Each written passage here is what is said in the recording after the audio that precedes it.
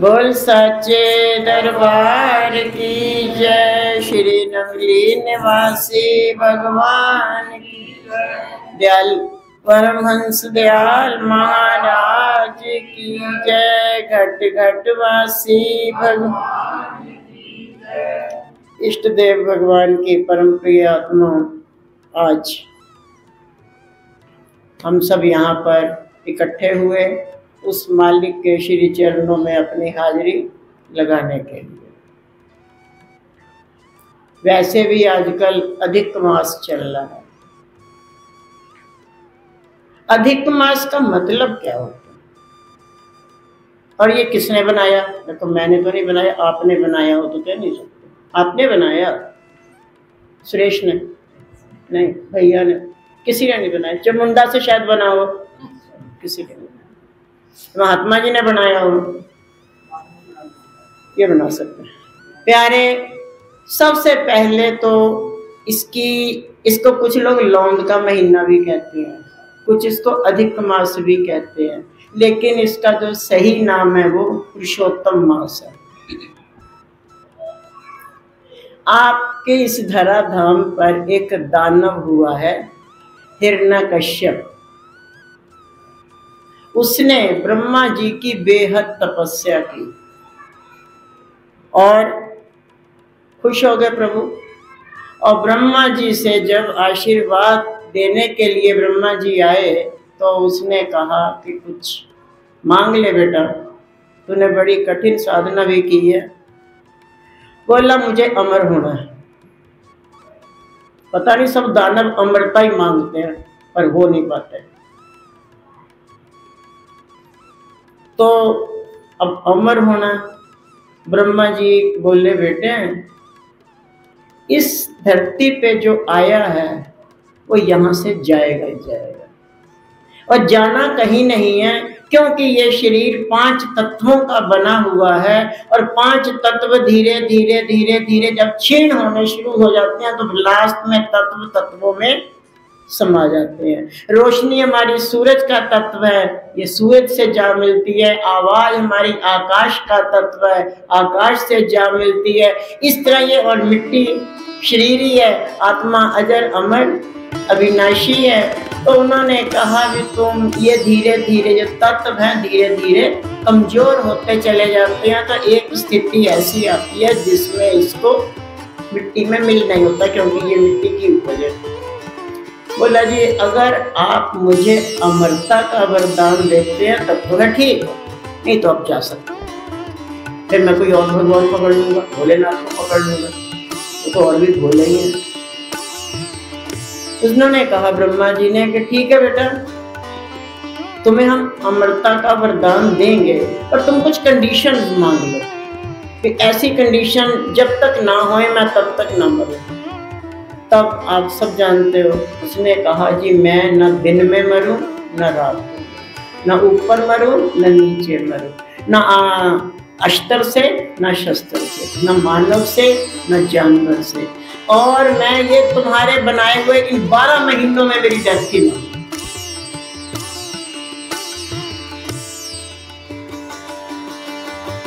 भगवान ने भी कह दिया तथास्तु कह के चल दिया। अब स्थिति बदली, प्रहलाद का जन्म हुआ और वो तो नारायण का हर भगत है। जय श्री हरि, जय श्री हरि, तुम भी बोलो, थोड़ा पुण्य मिल जाएगा। बोलो, जय श्री हरि, जय श्री हरि। और प्रहलाद जी की जय श्री हरि छुड़वाने के लिए उन्होंने क्या नहीं किया? लास्ट में प्रहलाद ने कहा, पिताजी, आप बोल के तो देखिए। कहते मैं नहीं बोलूँगा। बोला क्या नहीं बोलूँगा? मैं नहीं बोलूँगा जय श्री हरि। नहीं बोलूँगा जय श्री हरि नहीं बोलूँगा जय श्री हरि नहीं बोलूँगा जय श्री हरि नहीं बोलूँगा चार बार बोल दिया। लेकिन समय बड़ा बलवान। लास्ट के समय सब जानते हैं होलिका दहन का भी हो गया और वो सारी घटनाएँ घटने के बाद लास्ट हम अपनी बात पर आते हैं। तो उस वक्त ये अधिक मास, भगवान ने एक महीना ही बढ़ा दिया। बारह महीनों में नहीं जाना ना, चलो तेरहवा चलाएँगे। तो ये तेरहवा महीना अधिक मास उस समय तक चला। तो वो जो है, खंबे की बात आई, जानते हो सब? पौराणिक बात है। और खंबे खंबे को तोड़ा गया और खंबे में से प्रगट हुए। बोल, नरसिंह भगवान की और उस वक्त लाए गए और उन संध्या का समय था, न दिन था, ना रात थी।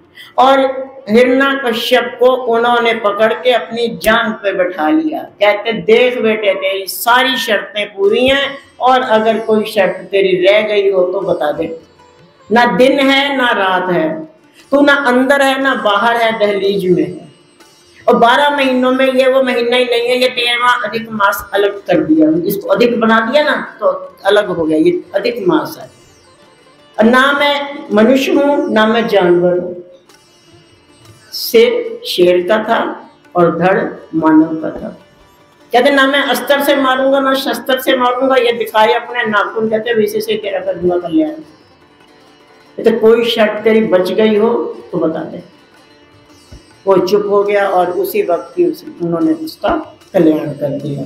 तो ये अधिक मास तब से बना। और अगर इसका हम दूसरी साइड देखें तो हम ये भी सोच सकते हैं, इन बारह महीनों में कह दिया जाए भजन कर लो, ये टाइम नहीं है।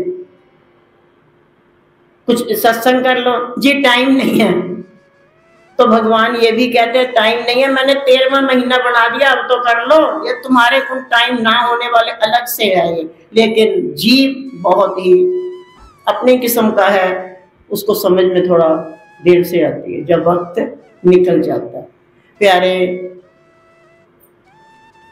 वो जो इसको कुछ लोग लौंग का महीना भी और अधिक मास तो इस मास को बड़ी एक अंदर से गलानी हो गई। कि बताओ ये जब जब भी मैं आऊँगा, चार साल बाद आता ये। तो कहता, मैं जब भी आऊँगा तो लोग मुझे हत्यारा महीना कहेंगे, क्योंकि मेरे ही महीने के अंदर उसकी जो है डेथ हुई है। तो उसने जब भगवान विष्णु से अपनी अर्ज़ लगाई तो भगवान विष्णु ने उसको आशीर्वाद देते हुए कहा, नहीं, तुझे लोग हत्यारा नहीं कहेंगे। आज से तेरा नाम है पुरुषोत्तम मास। और तेरे इस महीने के अंदर जो जितना ज़्यादा भजन, भक्ति, पूजा पाठ ये सब करेगा, वो उतना ही मेरे करीब होता चला जाएगा। तो ये रहा तुम्हारा अधिक मास, अर्थात पुरुषोत्तम मास। प्यारे,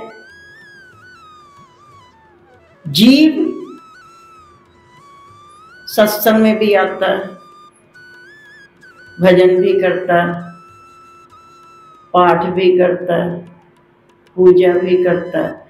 लेकिन जीव के अंदर शांति नहीं है। ऐसा मत सोचना, अपनी बेटी का नाम भी शांति रख लेते हैं। ऐसा कुछ नहीं होने है?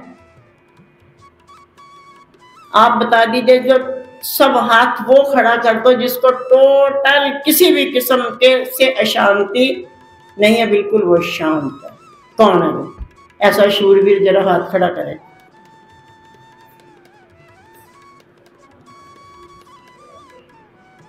भाई वाह, ये तो सारे ही बैठ गए चुपचाप।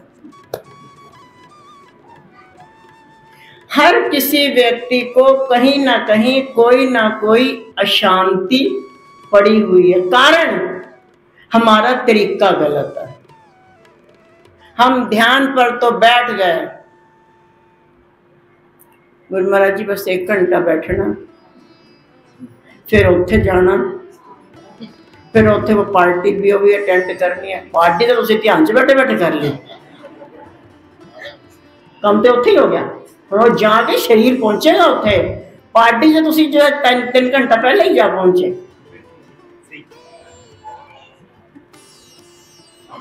ਚਲੋ ਜੀ ਸਤਸੰਗ 'ਚ ਆ ਗਏ ਪਤਾ ਨਹੀਂ ਸਤਸੰਗ ਕਿੰਨੇ ਵਜੇ ਖਤਮ ਹੋਏਗਾ ਅਸੀਂ ਜਾਣਾ ਸੀਗਾ ਜਾਂ ਹੁਣ ਕਿਸੇ ਨੂੰ ਬੁਲਾ ਲੈਣੇ ਆ ਉਹ ਆਣਾ ਸੀ ਕਿਸੇ ਨੇ बार बार मेरी तरफ को देखे जाएंगे पता नहीं कदों भाई जी जयकारा बोलेगी कदों चलना जाना हमने वो भी आएंगे घर में मेहमान आने वाले हैं मेहमान अरे एक बज गया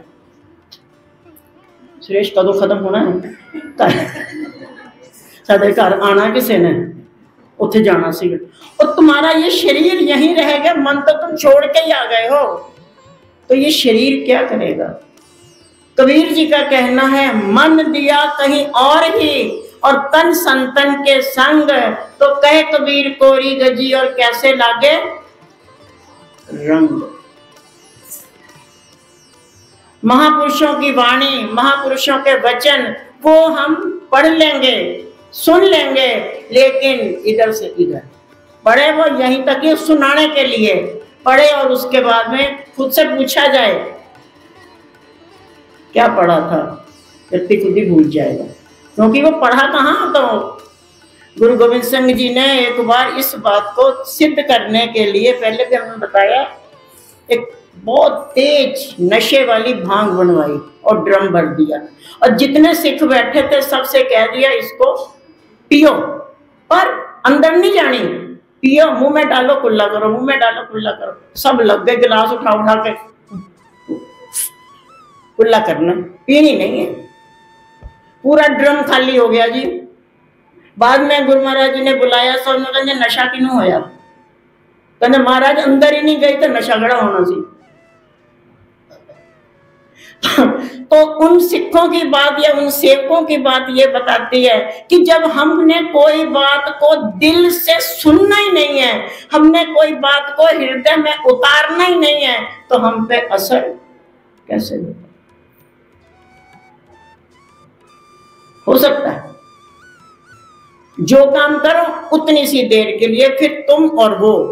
बीच में ये नहीं है आज तक एक आजकल तो एक और बड़ी मुसीबत खड़ी हो गई है। फ़ोन लेके बैठेंगे।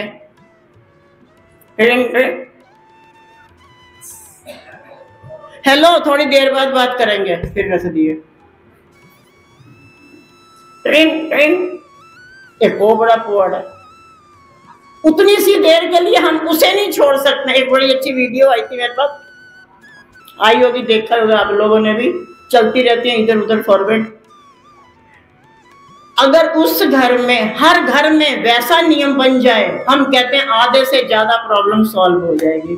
उन्होंने डाइनिंग टेबल पे खाना रख दिया, लेकिन जो उसका घर का मुखिया था, उसने कह दिया, जी, चाहे जितने भी फैमिली मेंबर हैं, कहते हैं फ़ोन रख दीजिए, खाना खाइए। खाना तैयार है, उठाइए, लेकिन फ़ोन नहीं लेके जाना। आई होगी आपके पास में। अच्छा तो उसको जो है कम से कम, और उसके हस्बैंड ने दो फ़ोन रखे हुए हैं। उन्हें एक रख दिया, बोली, वो भी है, उसे भी रख दो कम से कम खाना तो ढंग से खा लो। खाने के समय में भी जो है हमको भगदड़ पड़ी रहती है हद हो गई। और हमारी तो भाषा ही बिगड़ गई है, गजब की भाषा हो गई है। पहले कितने प्यार से एक शब्द बोला जाता था, रसोई। हम सही हैं, गलत हैं? ऐसा ही होता था ना? क्या बोलते थे? कड़े हिमाचल में रसोड़ा ना राजस्थान में रसोड़ा यहाँ रसोई ठीक और बड़े प्यार से हमें आज भी याद है कैप्टन साहब के यहाँ जाता था जाते थे जब मम्मी ने रसोई में मुझे ले जाना तो हम भी रंगीन सफ़ेद कपड़ों में थे तो हम तो ऐसे फैमिली मेंबर की तरह लग लगा जाते थे वो नंदा भी आई हुई है और पुष्पा हम लोग सारे के सारे वैसे ही। और जो है, वहीं बैठ के रसोई में प्यार से खाना खिलाया जाता था। रसोइयाँ बड़ी बड़ी होती थी। और अब चलो, अलग बैठ के खा लो। पर अब तो खाना खाते खाते हाँ बस मैं आंदा पिया। फिर एक ग्राइंड खा ली फिर किसी का फ़ोन बच गया। अरे, कम से कम इसने हमको इतना अशांत कर रखा है, इस काले से डब्बे ने हद कर दी है। सबसे ज़्यादा मुसीबत की जड़ ये फ़ोन है। जो काम कहीं नहीं हो सकता, वो ये करवा, करके दिखा देगा।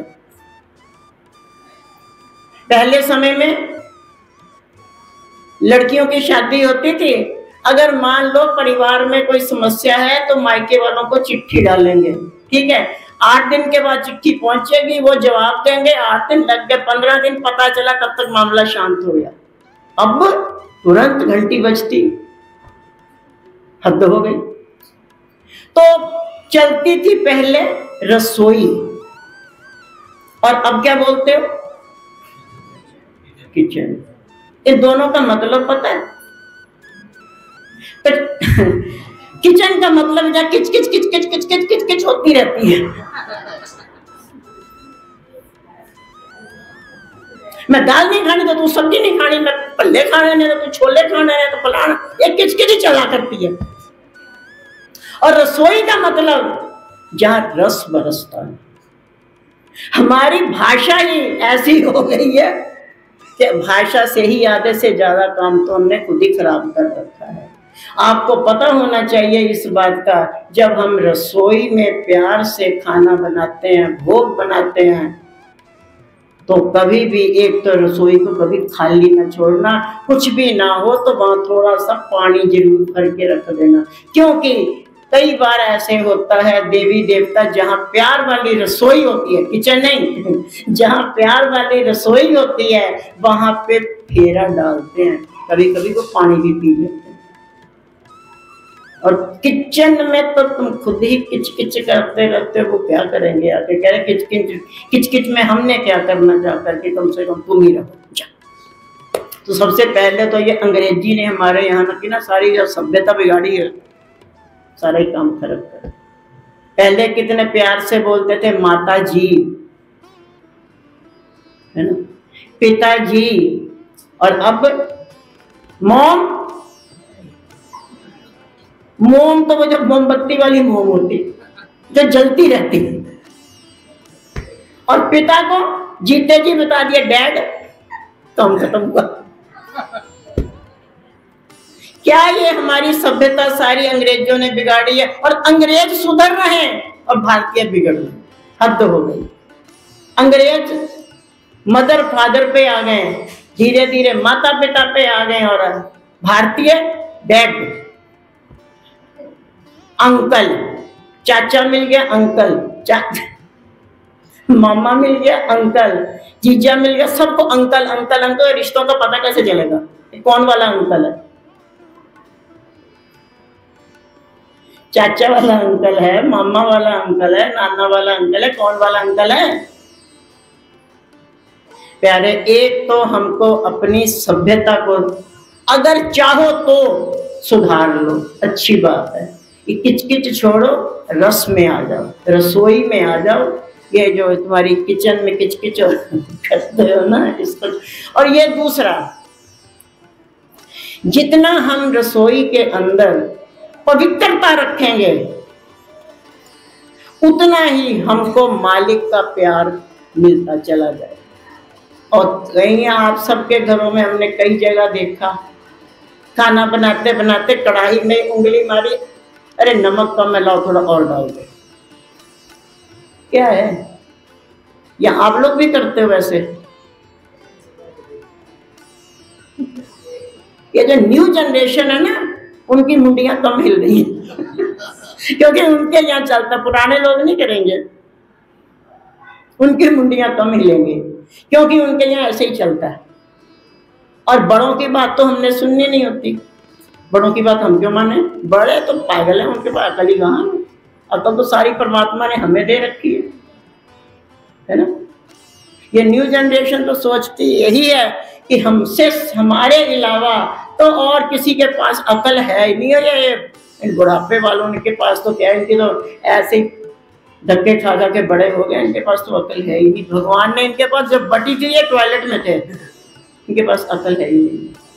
और ये जो हमारा बड़ा धोखा है, बेशक हमारे बुज़ुर्ग लोग पढ़े लिखे ना हो, पर जो उनका एक्सपीरियंस है, उसका क्या था हमें याद है पुराने समय में हम लोग शाम के समय नाना जी होते थे वहाँ, पंजाब। तो नाना जी के पास बैठना, कहानियाँ सुननी।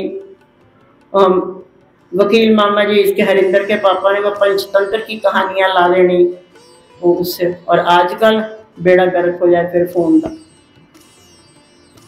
अगर एक परिवार के चार मेंबर हैं, चारों अपना अपना फ़ोन लेके बैठे हैं, किसी को किसी से कोई मतलब क्या है ये प्यार है? ये कौन सी क्वालिटी का प्यार है हमारा? कभी हमारे मन के अंदर ये बात नहीं आई कि जरा बैठ के मालिक के सामने किसी संत से या किसी अपने बुज़ुर्ग से बैठ के आपस में बातचीत करें कि गुरु महाराज जी, कैसे हो? उनका ही हाल पूछ लें।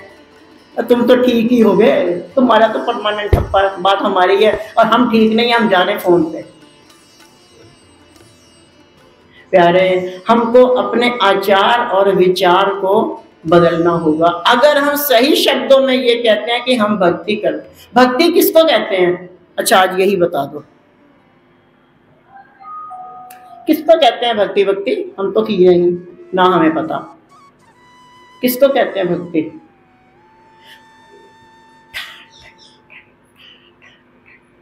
किन्ना चेर ਤੁਹਾਡੇ ਕੋਲ स्वामी जी आते रहे यारा तुसी जो है ही नहीं दस पा रहे भक्ति की कहते किसको कहते हैं? सिर नीचे करने को भक्ति कहते हैं अरे तो बड़ा अच्छा आंसर है। भगति। हिंदी में लिखते हैं तो उसमें क आधा आता है। अगर आप वैसे पंजाबी में लिखोगे तो भगति पूरा पूरा लिखा जाएगा, ठीक? भ मीन्स दो चीज़ें, भय और भाव। ग ग में एक आएगा गर्व, गुमान, जिसको हम वैसे कह देते हैं घमंड। और तीसरा टी टी का मतलब है प्यार। वो ये कह रहे हैं कि भय और गर्व। इन दोनों को छोड़ के जो की गई पूजा होती है, वो भक्ति कहलाती है। हमारी भक्ति होती है घमंड से भरी। अगर हमने कहीं कोई भंडारा भंडारा कर लिया या कुछ कर लिया, मैंने ये किया। मैं ये, मैं मैं मैं मैं कौन करता है? बस उसका क्या होता है? प्यारे, हमको अपने जीवन के अंदर, अपने जीवन को ये ज़रूर दिन में, नहीं तो रात को सोने से पहले ये ज़रूर नाप लेना चाहिए कि हमने आज दिन भर किया क्या है। सूची ज़रूर बनानी चाहिए। राधा स्वामी में ये एक बड़ी अच्छी चीज़ दिखाई है, उन्होंने वो एक देते हैं बुक सी तो उसमें सारे दिन के काम को लेकर के रात को तुमको फिल फिल करना होता है कि तुमने दिन भर क्या किया।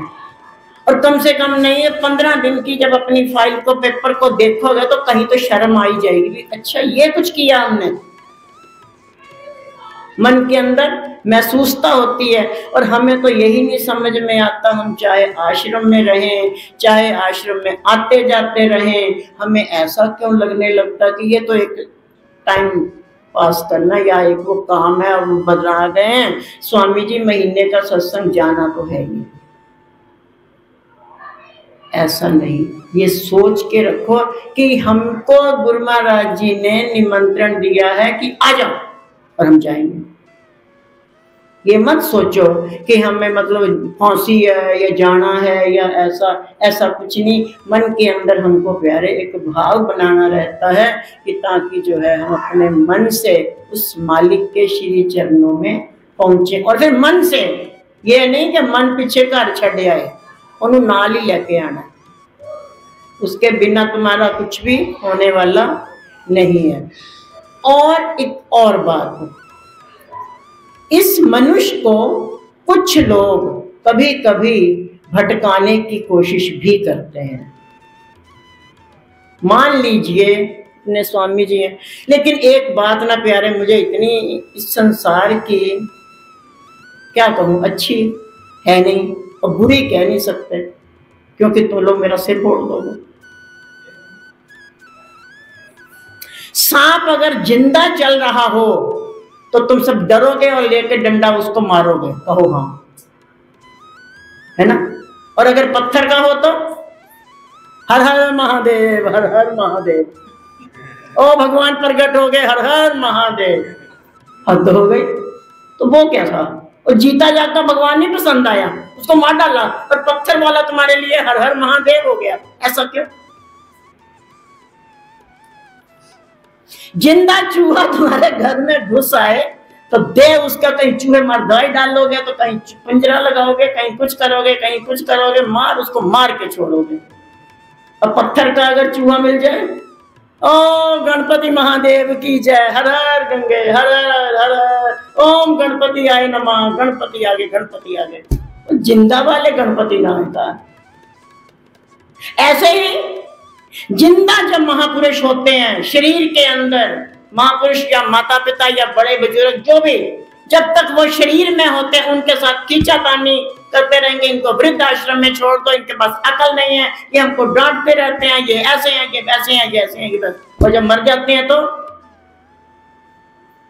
भंडारा, साढ़े मालिक चले गए इना दाता। जाने के बाद फिर हम उनकी पूजा करें स्वामी जी रहे, जीते जी खूब खींचातानी चली, सब जगह, खूब चली खूब चली। और अब अब सब याद करके रोते हैं। जब थे तब कहे कि खींचातानी थी, वही हाल हमारा भी है। हमारे साथ भी खींचा खींचातानी चलती रहती चलती रहती चलती रहती, फिर बाद में सब याद करेंगे प्यारे, बाद में याद करने से कोई फ़ायदा नहीं। क्या है अगर याद करना है, अगर कुछ सीखना है तो ज़िंदा से सीख सकते हैं। कि मूर्ति क्या सिखाएगी? सिखा सकती है। क्या हिमाचल में है ऐसी कोई थ्योरी कि जिससे मूर्तियाँ बोल पड़ती हैं? कुछ शायद यहाँ की टेक्नोलॉजी बहुत फास्ट चल रही है। है कुछ ऐसी टेक्नोलॉजी मूर्तियाँ बोल पड़े, पत्थर का सांप चल पड़े, काट ले। पत्थर का चूहा जो है हम ना वहाँ पंजाब में थे तो एक चूहे से मुझे याद आई। हम बचपन में चाहे मेरा जीवन कैसा ही रहा, और हम ना थे बड़े शरारती तो ये कह रहे एक ना चूहा था थोड़ा मोटा सा, काबू नहीं आता था। तो अब हमने क्या किया, ये माचिस की डब्बी है तो बड़ी वाली, अब चली पहले, वो छोटी वाली होती थी, छोटी डब्बी। तो चूहा फंस गया जी पिंजरे में और चूहा था बड़ा, पूछ बाहर चूहा अंदर। ठीक? अब हमने क्या शैतानी की, ऐसी तिल माचिस की जो नीचे जिसमें तिलियाँ होती हैं, वो वाला खाना निकाला, उसके एक कोने में छेद करके उसमें बांधी डोरी। और उसकी डोरी का दूसरा सिरा जो था, वो बाँध दिया चूहे की पूंछ पे। और चूहा छोड़ दिया जा भाई। अब बच्चों वाली बात, ताली बजाने लग गए, चूहा गाड़ी चूहा गाड़ी चूहा गाड़ी चूहा गाड़ी, इतने में आ गई मम्मी मम्मी बोली, ये ये क्या कर रही है? मैं, मम्मी देखो कितनी सुंदर चूहा गाड़ी जा रही है, अनाज ढो रही है हमारा। प्यारे, अब वो ज़िंदा था तो उसने अनाज भी ढो दिया, पत्थर के चूहे से बाँध के देखो जरा। प्यारे, हमको अपने दिमाग की सोच को थोड़ा बहुत बदल लेना चाहिए, कि नहीं? क्या कहते हो? बदलना चाहिए या नहीं? ऐसे अगर बोलने में शर्म आ रही है ऐसे और ऐसे कर लो। अच्छा बदलना चाहिए। ये अधिक मास भी अब तो खत्म होने वाला है। सोलह अगस्त से ये भी खत्म हो जाएगा। तो यानी बारह महीनों में फिर हम बदलेंगे नहीं। फिर जब चार साल बाद अगला आएगा अधिक मास फिर बदलेंगे? कब कब बदलना है? महापुरुषों की निंदा करनी तो बहुत खराब है, लेकिन उनकी जो सुननी है, वो उससे भी ज़्यादा खराब है। अपने दादा गुरु महाराज जी के समय में एक बंदा, उनको अक्सर कुछ कुछ कुछ कुछ कहा है। मैंने कहा, ना, जीते जी नहीं कोई पूछता। जीते जी है। सबके साथ सबके साथ हुई है खींचातानी सब बेचारे मोदी ने क्या बिगाड़ा?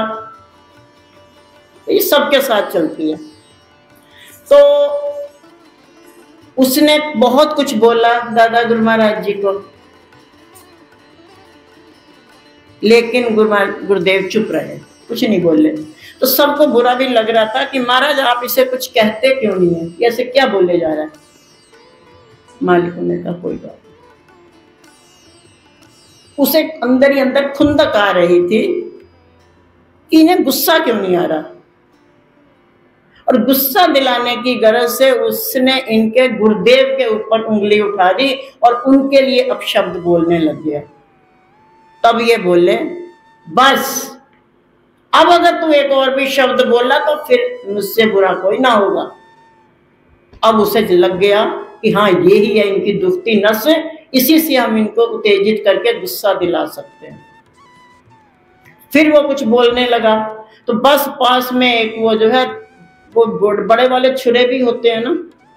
एक तो छोटी चाकू होते, एक बड़े वाले छुरे भी तुम्हारे यहाँ तो वैसे बड़ा। केक काटने के लिए स्पेशल रखा हुआ इतना कृपान सी। तो वो रखी हुई थी, वो उठा करके जो है दादा गुरु महाराज ने मारी उसको तो उसका हाथ का अंगूठा अब शोर मच गया, हाथ काट दिया, हाथ काट दिया, हाथ काट दिया, पुलिस को बुलाओ, ये बुलाओ। बोले, चुप रहो। खुद ही गए थाने में, बोले, मैंने उसका जो हाथ काट दिया, मुझे गिरफ़्तार कर लो। बोले मैं अपने गुरुदेव की बात नहीं सुन सकता था। अपने लिए, मेरे लिए कोई कुछ भी बोलता रहा लेकिन अगर ये गुरुदेव की बात बोलेगा तो वो मुझसे बर्दाश्त नहीं है। मैंने काट दिया। ये लो, लगाओ मुझे हथकड़ी मैं आ गया गिरफ़्तार कर वो हौलदार थानेदार सब इनके जानकार थे, सेवक थे। बोले, महाराज, आप खुद क्यों प्रकट हो रहे हो? बस करो, हम बात को रफा दफ़ा कर देंगे। ना ना मैंने की गलती? करो मुझे गिरफ़्तार। और वहाँ पे रहे दो। करना क्या था? चलेगा, जहाँ वहाँ से भी कई भक्तों को निकाल रहा जिसने दिल से संगत की, उसने तो कुछ पा लिया। लेकिन अगर कोई ऊपर ऊपर से रहता रहा, ऊपर ऊपर से टाइम पास करता रहा तो प्यारे फिर आप समझ लो क्या होगा उसका। अगर दारू अंदर ही नहीं जाएगी, पीने वालों से पूछो, अगर वो अंदर नहीं जाएगी तो क्या नशा होगा? अगर किसी ने पहले पी पी पाई हुए तो बता सकता कि अगर हमने अंदर ही नहीं भेजी तो क्या नशा होगा?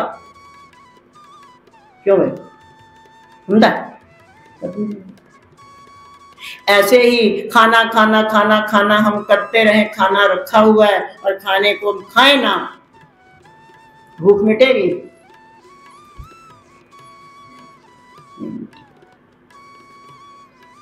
अंदर हर चीज़ ले जानी पड़ती है। तो प्यारे, ज़्यादा नहीं कहेंगे, एक घंटे के करीब हो चुका है टाइम। इससे पहले कि तुमको खुद को लंगर बुलाने लग जाए और तुम जाके खुद ही वहाँ टाट पट्टी पे बैठ जाओ तो हम खुद ही अपनी वाणी को विराम देंगे। प्यारे, अपने आचरण को हमको थोड़ा बहुत बदलना होगा। अगर हम सही शब्दों में थोड़ा सा आनंद चाहते हैं तो क्योंकि अब कहीं पे भी निंदा कर दी, कहीं पे भी कुछ कर दिया, एक याद आई बात है, वो क्या क्या बाणी छोड़ेंगे। बोल दें छोटी सी याद आई थी। एक बार की बात है, एक राजा का एक नियम था कि राजमहल में जब पूजा करके हटता था, उसके बाद में वो उसका एक लिमिट टाइम होता था कि वहाँ पे बैठ खड़ा हो जाएगा और जो भी कोई आएगा, उसको वो दे देता था, दान करता था। दो घंटे का नियम था उसका। दो घंटे तक सबको मुँह मांगी चीज़ देता रहता था। और उसके बाद जैसे दो घंटे पूरे हुए, चला जाता था घुड़साल में। नियम था उसका। एक दिन की बात है कि एक साधु बाबा उससे भिक्षा मांगने चले गए। लेकिन इतफाकन उस वक्त जो है उसके गुरसाल का टाइम हो चुका था, वो वहाँ पहुँच गया था। तो उसने राजा से भिक्षा मांगी, बाबा जी ने। राजा बोला, जी, कल आना, भिक्षा का टाइम अब। उन्होंने कहा, जी, आज कुछ देते हो तो दे दो, मैं ऐसा साधु नहीं रोज भागता फिरूँगा। आज देता तो दे दे। लेकिन उसने मना किया और साधु बाबा अड़ गए तो उन्होंने जब दोबारा मांगी तो कहते संतों के साथ कभी कभी किया हुआ मज़ाक बड़ा महँगा भी पड़ जाता है। करो मज़ाक मज़ाक से मना ही नहीं है। मज़ाक करो, लेकिन मर्यादित मज़ाक। उसने मज़ाक समझो या गुस्सा समझो या क्या, उठाई वहीं पर घोड़े की लीद और उनके कमंडल में डाल दी। वो भी बोल के चले आए, तेरा दान खूब फले। और करनी क्या थी वो? अपनी झोंपड़े में आए, उन्होंने लीद को फेंक दिया। अपने काम में लग गए कमंडल मांझा मुंजा हो गया सर। कुछ समय बीता, कुछ। तो राजा शिकार खेलता खेलता कहीं उसी रास्ते में निकल गया और रास्ता भटक गया। आगे जाकर उसके साथी कहीं आगे पीछे हो गए थे और वो राजा जो था वो रास्ता भटका भटका वही महात्मा जी की झोपड़ी में पहुँच गया। वहाँ जाके उस राजा को बड़ा अचंभा हुआ। उसने क्या देखा कि यहाँ पे ना कोई घोड़ी, ना घोड़ा, ना खच्चर तो ये इतने लीद के अंबार कैसे लगे हुए हैं? इतनी लीद के अंबार लगे पड़े तो ये घोड़े घोड़ी तो है नहीं यहाँ पे। तो इतनी लीद यहाँ आई कहाँ से? आखिरकार राजा ने हिम्मत करके साधु बाबा से पूछ ही लिया, महाराज, ये बताएँ कि यहाँ आपके पास कोई घुड़साल नहीं है, यहाँ आपके पास कोई घोड़ी घोड़ा नहीं है तो ये इतनी लीद कहाँ से आई है? महात्मा जी बोले, किसी राजा ने हमको ये दान में दी थी तो दान तो दिया हुआ बढ़ता है, ये भी बढ़ गई। उसे याद आया हरकत तो मैंने ही की थी एक बार। कहता, फिर अब उस राजा को, इस लीद को खत्म, इतने सारी लीद का होगा क्या? बोले, उसे खानी पड़ेगी। मेरे खाने के कमंडल में डाली थी। मुझे भी खाने के लिए दी थी ना तो ये राजा को खानी पड़ेगी। वो बोला, महाराज, मैं कैसे खाऊँगा? बोल ही पड़ा कि वो मैं ही हूँ। तो महाराज, वो लीद में कैसे खाऊँगा? महाराज बोले देते समय नहीं समझ में आई थी। मुझे भी तूने खाने के लिए दी थी ना, मेरे ही कमंडल में जो डाली थी, खाने के लिए डाली थी। बोले, महाराज, कुछ उपाय बताओ, ये इतना कैसे खाया जाए? महात्मा जी ने कहा भी देख, ऐसा है। तुम एक काम करो, जैसे भी तुम्हें हो सके पूरी जनता जनार्दन से अपनी बेहद निंदा करवाओ तो महाराजा ने कहा, हो जाएगा काम खत्म? बोले हाँ। सब निंदा करें ना जैसे जैसे ये तेरी मारी निंदा करेंगे, ये सारी लीद वो खा लेंगे। काम खत्म हो जाएगा तेरा।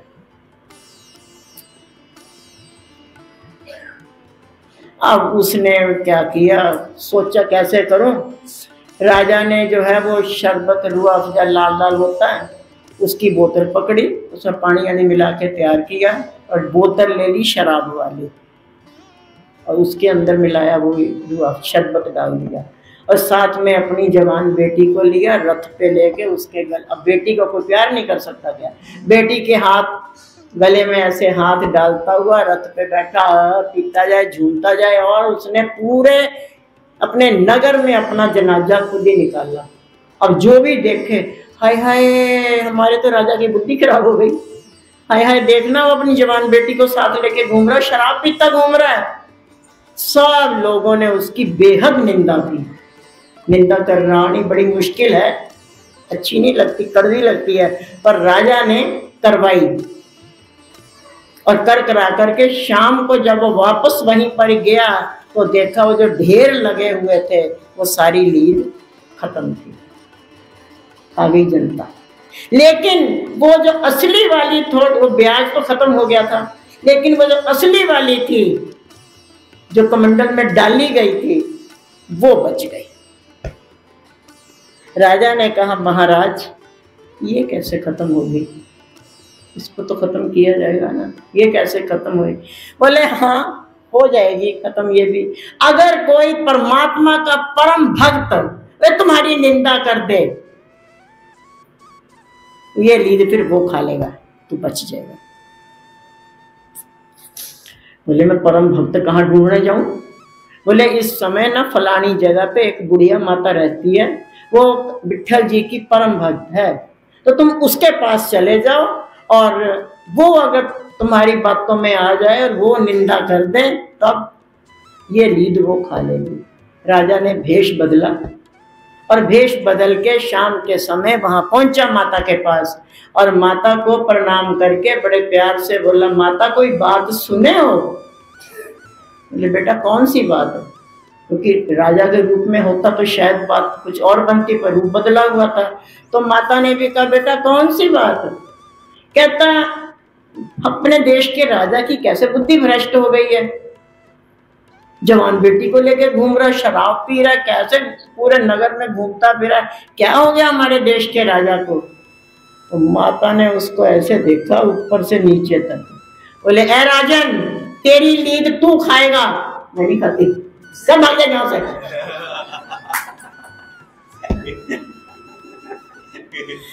तू क्या सोच रहा है कि वो तेरा गंध मैं खाऊँगी? जो कुछ ऐसा करेगा, वैसा भरेगा। मुझसे नहीं कोई मतलब तेरी लीद तू ही खाएगा। उड़ यहाँ से आया बड़ा रूप बदल के, माता ने ऊपर डांट डांट के भगा दिया। फिर गया वहीं पर महात्मा जी के पास, बोले, महाराज, उसने तो मुझे ऐसे मैं बड़ा रूप रहा बदल के गया था, पर बात नहीं बनी। महात्मा जी ने कहा, बेटा, अब एक रास्ता है ये लीद उठा अपनी। इसको घर ले जा, इसको बारीक करके पीस पीस करके इसमें नमक मिला ले थोड़ा सा। और खाने के साथ थोड़ा थोड़ा दही यही में किसी किसी में डाल डाल के खानी पड़ेगी। क्योंकि तो बेटा, ये तूने मुझको भी खाने के लिए अब, और जो साधारण राजा की निंदा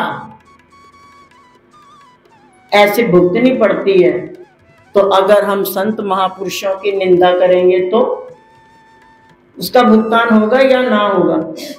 डबल होगा।